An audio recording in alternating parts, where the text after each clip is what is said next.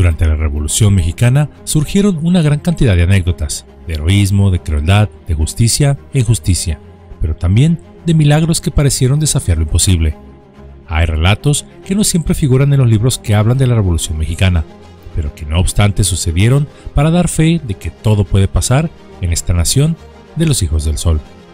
Tal es el caso de un hombre el cual vio a la muerte de frente y al cual llegó a ser considerado uno de los hombres más extraordinarios de su época. Hoy deseo hablarles un poco de ello. Es por eso que Yolocamotes tiene el placer de traerles el día de hoy Wenceslao, el fusilado de Alacho, la grandeza al borde del abismo. Esta historia, la cual no fue leyenda, sino un hecho real, nació durante los tiempos más cruentos de la Revolución Mexicana. Wenceslao Moguel Herrera, originario de Alacho, Yucatán, contaba con 22 años de edad y el cual, como otros muchos jóvenes, incluso más chicos que él, se habían alistado o los habían alistado a uno de los tantos bandos armados en pugna. En este caso, se había formado una pequeña milicia en su localidad, la cual se oponía al bando constitucionalista del honrado Venustiano Carranza, pues en ese entonces Yucatán no veía con buenos ojos al régimen del presidente por considerarlo corrupto y vendido a los Estados Unidos. El general Abel Ortiz Argumedo había derrocado al gobernador constitucionalista Toribio de los Santos, razón por la que el presidente Carranza había enviado al general Salvador Alvarado Rubio para que apagara la rebelión y reinstaurara el orden en aquel estado.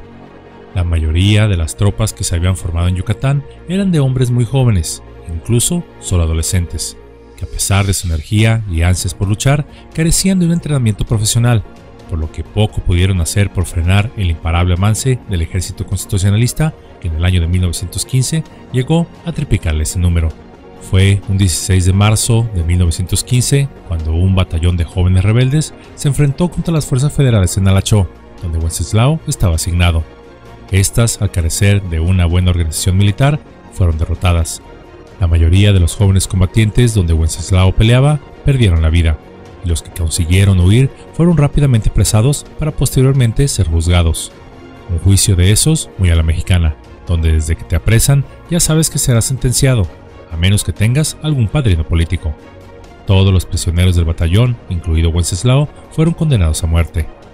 Según él mismo relataría años más tarde, a él se le incluyó en el último grupo que sería fusilado. Pensó que su vida llegaba a su fin, y aunque lo aceptó con resignación, sentía tristeza por todos los sueños que no pudo realizar en su vida. Wenceslao vio y escuchó cómo uno a uno de sus compañeros iban cayendo ante la lluvia de balas. Cuando le llegó el momento, se colocó junto al paredón para escuchar la orden de ¡Preparen! ¡Apunten! Y antes de que se diera la orden final, y según palabras del propio Wenceslao, él solo pensó, Dios, recíbeme en el cielo, aun cuando no lo merezco. Cierro la cita, y enseguida se escuchó ¡Fuego! Y donde una ráfaga de balas atravesaron el cuerpo del revolucionario, se dice que recibió ocho disparos en distintas partes del cuerpo, aunque otros, los más escépticos, dicen que solo tres, uno en el lado derecho, sin tocar órganos vitales, otro en su brazo, de ese mismo lado, y el último en el muslo izquierdo. No obstante, aún hubiera recibido, entre comillas, tan solo tres balazos, aún queda aún el famoso tiro de gracia, un último disparo con que el ejecutor se asegura de que el fusilado hubiera muerto. Esto se hacía en un aparente acto de misericordia, para que el fusilado no quedase herido, sufriendo durante horas hasta finalmente expirar. Y así se procedió. Se le dio el tiro de gracia, pero algo sucedió. El disparo le entró en la mandíbula saliéndole por el otro lado del rostro. Su verdugo creyó que había tenido éxito, mas en realidad no había apuntado bien a la sien donde era habitual dirigir el arma. Wenceslao perdió el conocimiento creyendo que su vida había terminado. El ejército federal decidió no perder tiempo enterrando los cuerpos de los fusilados y enseguida se marchó a otra región, dejando ahí los cadáveres. Al siguiente día, Wenceslao abrió los ojos ante una gran turba de buitres que se alimentaban de los cuerpos de sus compañeros, y quitándose de encima los restos mortales de ellos, creyó por un momento que efectivamente había muerto, y que ahora se encontraba en el más allá. Al darse cuenta de que no era así, como pudo, y aún con el dolor de sus heridas, levantó las manos pidiendo ayuda, la cual, por suerte para él, estaban cerca dos de los prisioneros los cuales habían sido perdonados.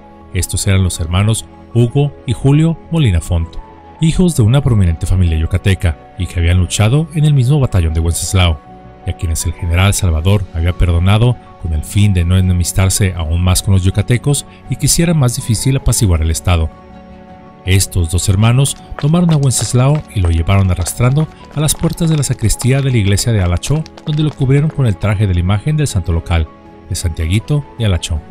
Retirándose enseguida de ahí y dejándolo prácticamente a su suerte, pues creyeron que ya no había esperanzas para él. Afortunadamente, una mujer que pasó por ahí, al verlo, rápidamente lo atendió y enseguida fue a buscar ayuda médica.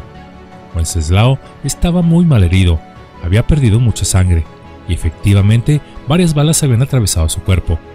Todos pensaron que ya no había nada que hacer por él. No obstante, intentaron curarle sus heridas como se pudo, simplemente esperando que Wenceslao muriera. Pero, ante lo que pareció imposible, Wenceslao se recuperó, sus heridas sanaron y su espíritu recuperó las fuerzas que él tenía antes. Deseaba seguir luchando, pero su cuerpo ya estaba muy mal herido como para poder hacerlo porque durante un tiempo se escondió para que no fuera detectado por las fuerzas federales, las cuales ya controlaban el estado, por lo que tuvo que irse a Campeche. Pero, pese a tener un cuerpo herido de por vida y un rostro desfigurado, esto no le impidió formar una familia, y además saltar a la fama, pues unos años más tarde, el estadounidense Robert L. Ripley, un famoso personaje de la radio y creador de la frase, aunque usted no lo crea, se enteró de la historia de este hombre invitándolo a viajar a los Estados Unidos para que visitara su museo de hechos curiosos y sorprendentes en Cleveland, Ohio. En los Estados Unidos se le conoció a Wenceslao como el fusilado de la Cho, recorriendo todos los Estados Unidos y relatando su historia en donde la gente se sorprendía de que hubiera recibido ocho balazos y además el tiro de gracia y aún siguiera con vida. Al parecer, Wenceslao aún tenía que vivir, su tiempo aún no llegaba, y la muerte respetó ese designio. Su historia inspiraría a una incontable cantidad de personas en aquel tiempo quienes lo admiraron por su espíritu de salir adelante a pesar de la adversidad. Pero su historia no termina ahí. Uno de los hermanos, Julio Molina Font, quienes lo habían auxiliado a llevarlo a la iglesia donde sería curado, estaba estudiando en Nueva York, cuando al pasar por una calle en Broadway vio un anuncio fuera de un teatro que le pareció familiar. Era Wenceslao, aquel moribundo que había dejado en la iglesia y al que él daba por muerto. Ingresó rápidamente a la sala y cuál sería su sorpresa, que ahí estaba esa persona, era él relatando su historia. Wenceslao se reencontró con quienes le habían indirectamente salvado la vida, forjando una amistad desde entonces entre ellos que perduraría por el resto de sus vidas. De hecho, cada semana los hermanos Molina Font le apoyaron económicamente a Wenceslao para que no pasara penurias. Por desgracia, Wenceslao finalmente fallecería, pero 61 años más tarde, después de su primera muerte, el día 29 de julio de 1976, en la ciudad de Mérida, en el estado de Yucatán, a la edad de 86 años, rodeado de sus familiares, hijos, nietos e incluso bisnietos, y además sin ningún arrepentimiento en la vida, pues la gozó y disfrutó hasta el último momento. Inclusive su transición a la otra vida fue pacífica, tal y como si se hubiera quedado dormido. En el año 2008, la banda de música inglesa Chumbawamba lanzó una canción llamada El Fusilado, en el cual relata la vida de Wenceslao. Algunos dicen que este suceso fue todo un milagro, otros más aseguraban que Wenceslao no era de este mundo, pues le hizo frente a la muerte y a pesar de todo sobrevivió no solo al fusilamiento, sino también al tiro de gracia. Él, como pocos, tuvo una segunda oportunidad en la vida, viviendo plenamente cada momento de ella, y por si fuera poco, encontró en la adversidad un tesoro más valioso que el oro, y esto fue la amistad. Wenceslao, en lo que creyó eran sus últimos momentos, se sintió indigno de acceder al más allá, por lo que quizá alguien escuchándolo de aquel lado decidió darle una segunda oportunidad.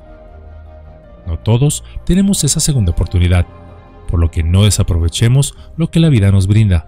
Y no hablo de bienes materiales, sino por ejemplo de estar con los amigos que te aprecian, con la familia que te quiere, el rodearte de la maravillosa naturaleza en un momento de contemplación, escuchar alguna melodía favorita mientras cantas a los cuatro vientos aun cuando sonemos desafinados, de hacer todo aquello que llena nuestra alma y nos hace realmente felices, de ir en paz todas las noches a dormir sabiendo que hemos intentado vivir haciendo el bien a los demás, que finalmente, al término de nuestra vida, no llegará al final de esta con arrepentimientos por aquello que dejamos de hacer o no hicimos tan solo por el miedo a un supuesto fracaso o la crítica de los demás. Paradójicamente, en este mundo lleno de espinas, sufrir es vivir, pues solo quienes han estado a punto de perderlo todo, sumidos en la oscuridad, pueden comprender lo que es volver a ver a la luz. Por ello, no en vano se dice que la grandeza vive junto al borde de la destrucción, siendo la razón de que alguien alcance la grandeza es que, a pesar de haber caído al abismo, se tuvo la fuerza para levantarse a pesar del dolor.